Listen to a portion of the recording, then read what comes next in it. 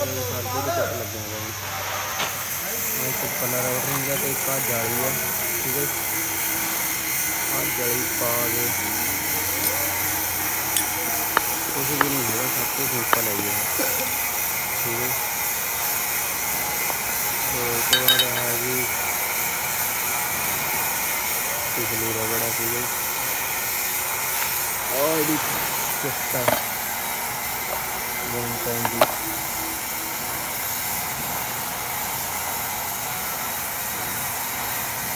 ਚਿੱਟਾ one time ਤਿੰਨ ਸੌ ਤਰਾਸੀ ਰੁਪਏ ਦਾ ਪ੍ਰਿੰਟ ਰੇਟ ਹੈ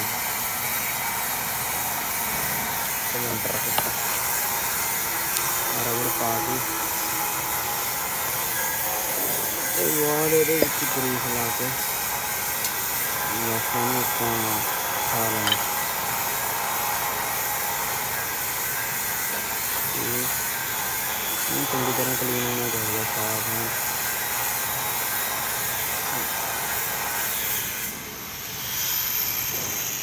ਰਬੜ ਤੇ ਥੋੜੀ ਗਰੀਸ ਲਾ ਲੈਣੀ ਸਪੈਸ਼ਲ ਗਰੀਸ ਹੁੰਦੀ ਹੈ। ਵਾਹ ਇਹ ਕੱਢਣਾ ਹੀ ਪੈਂਦੀ ਟਾਈਮ ਲੱਗਦਾ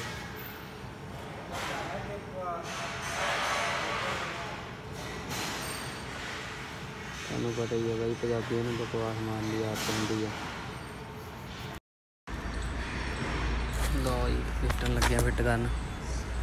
ਠੀਕ ਹੈ ਆ ਪਿਸਟਨ ਦੀਆਂ ਰੋੜਾਂ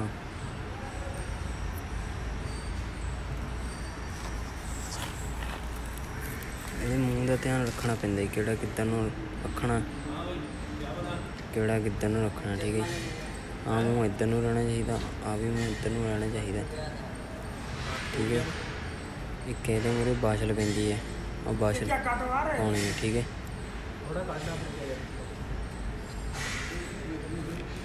तो ये ऐसे पड़ता है ਇਹ ਸਪਰਿੰਗ ਪੈਂਦਾ ਇਹਦੇ ਪਿੱਛੇ ਠੀਕ ਹੈ ਜੀ।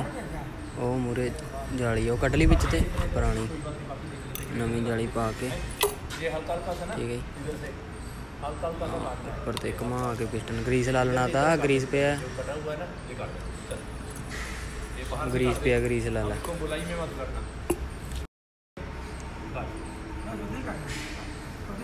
ਨਾਲ ਕਰਕੇ ਆਹ ਗਰੀਸ ਸਪੈਸ਼ਲ ਗਰੀਸ ਆਉਂਦਾ ਇਹਦੇ ਨਾਲ ਥੋੜੀ ਜਿਹੀ। ਗਰੀਸ ਲਾ ਕੇ। ਠੀਕ ਹੈ।